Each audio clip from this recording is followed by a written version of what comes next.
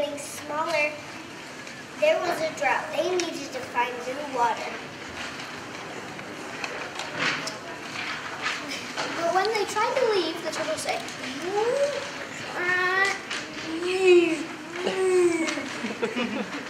the swan said, you're, but you're too slow to walk and you can't fly. And the turtle said, can't leave me. the swans had an idea.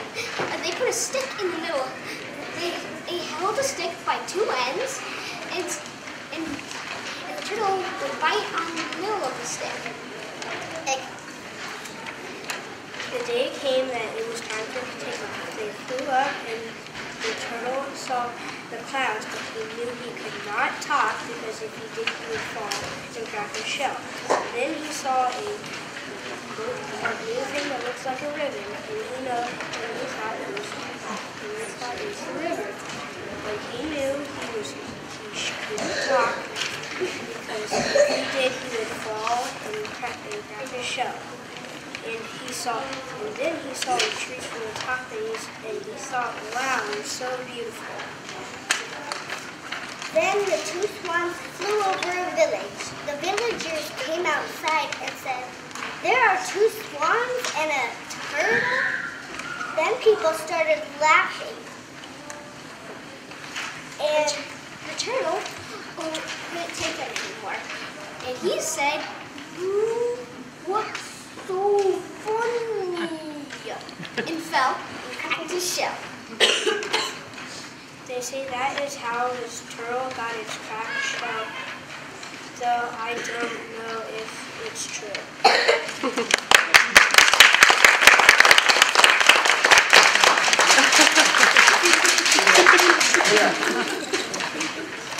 Our next performance is a reading theater called How Grandmother Spider Stole the Sun.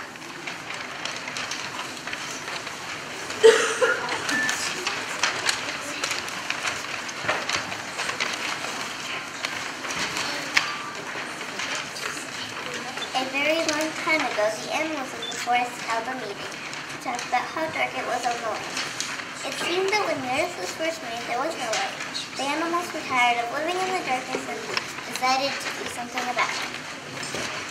I have heard that there is something called the sun. However, it is kept on the other side of the world, and the animals that live there do not want to share it. Perhaps we could steal a piece of it. Oh, I'll go. I will go try first. I run fast and I can carry things in my mouth very well. The animals agreed to let the fox try first. He sniffed to the other side of the world and grabbed a piece of the sun when nobody was but he put it in his mouth and began to run. Since it was so hot, however, he dropped it before he got back home. He tried to explain what happened to the other animals. This thing sun is very bright and hot. When I put it in my mouth to carry it home, it began to burn and in fact, my mouth is still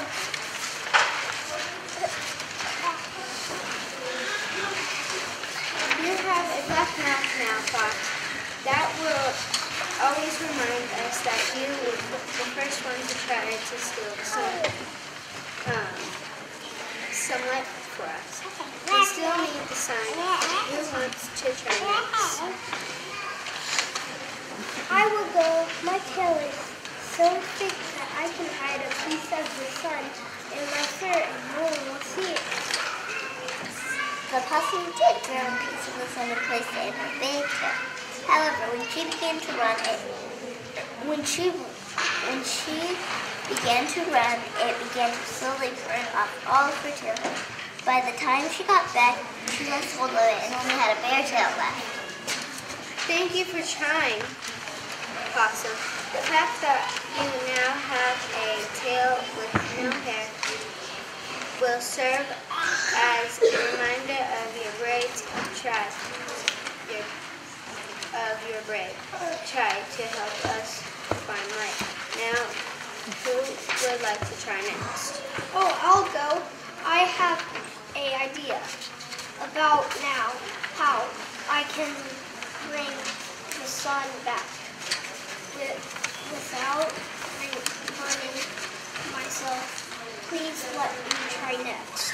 The animals let the spider try. Instead of trying to hold the sun herself, she wove a bag from herself. She put it she put the sun in the bag and carried it back. All of the animals cheered when they saw it. Spider, you have brought us light. Thank you. However, it will do no good for us here on the ground and your bag. We need to place it in the sky for it to shine down on us. Who thinks they could do this job? This important job. I can fly high and my feathers are so thick around my neck that I can place this, the sun there. I should be the one to place it in the sky. Please let me try. The buzzard put the sun in his feathers and began to the sky. The sun was so hot, however, it began to burn the feathers away. After the feathers on its neck were, were gone, the sun began turning the bare skin of his head all red. But he continued to fly, wanting to be the one who placed the sun in the sky. He was able to just that, but returned to the animals very different. Buzzard, you did it. We now have sun to light our way. Just like Fox and Possum, your body has changed to allow us to, rem- to remember your great deed. Your bare red head will always remi- remind us of how you sun to the sky. The end.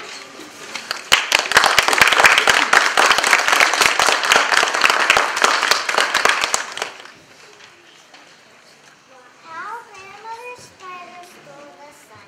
A very long time ago, the animals of the forest held a meeting to talk about how dark it was on the land. It seems that when Earth was first made, there was no light. The animals were tired of living in the darkness and decided to do something. I have heard that there is something called the sun. However, it is kept on the other side of the world, and the animals that live there do not want to share it.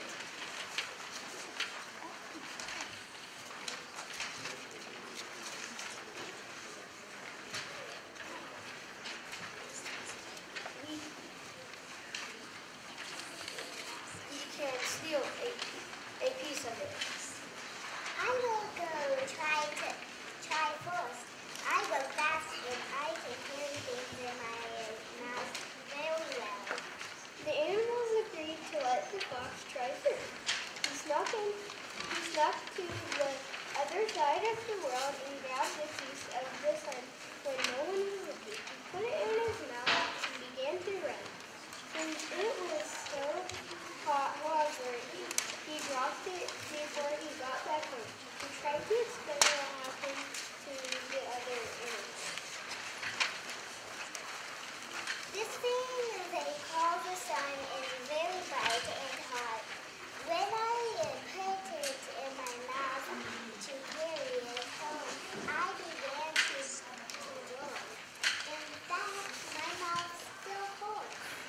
You have a black mouth now, Fox. That will always remind us that you were the first to try and steal some light for us. We still need the sun. Who wants to try next? Um, I will go.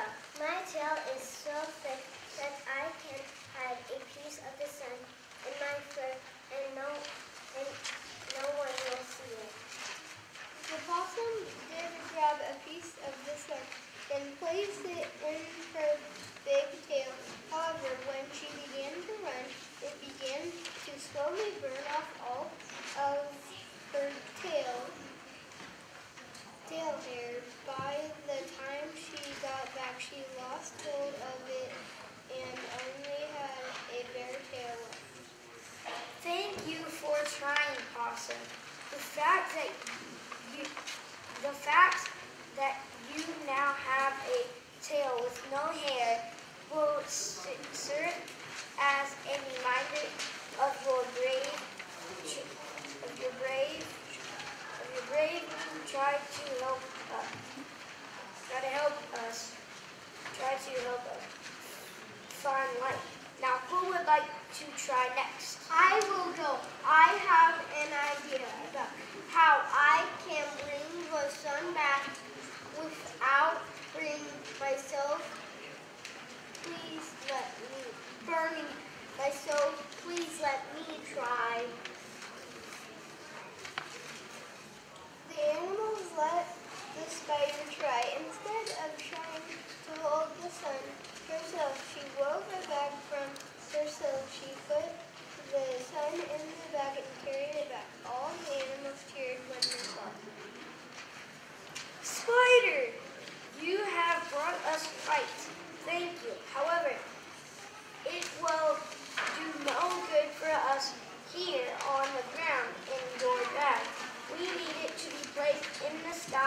for it to shine down on us. Who thinks they could do this important job? I can fly.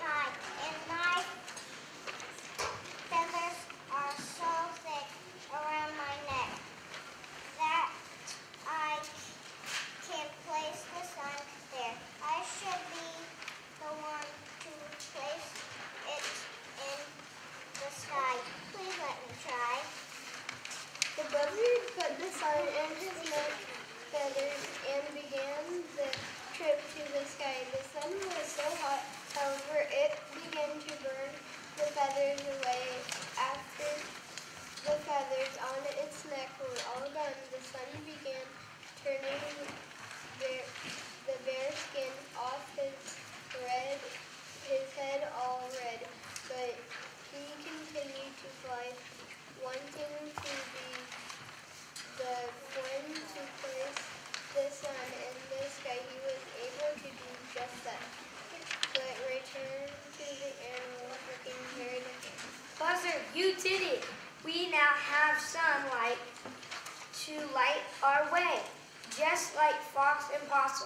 Your body has changed to allow us to remember your great deed.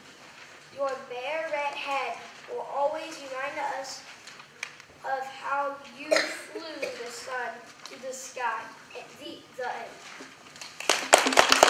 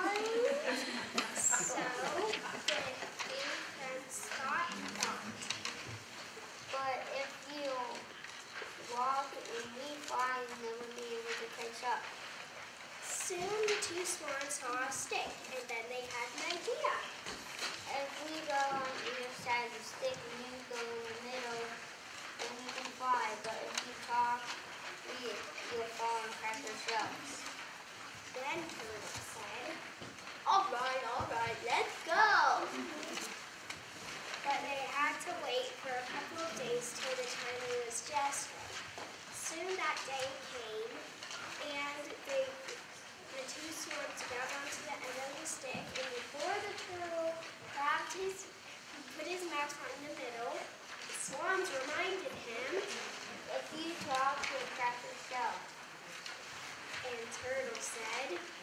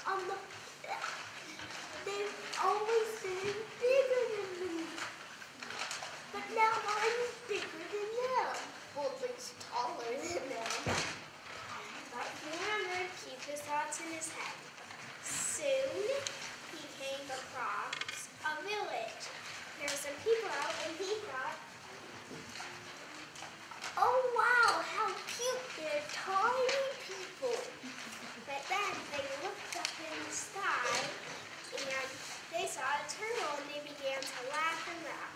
Turtle couldn't stand that, so pretty soon he said, Whoa!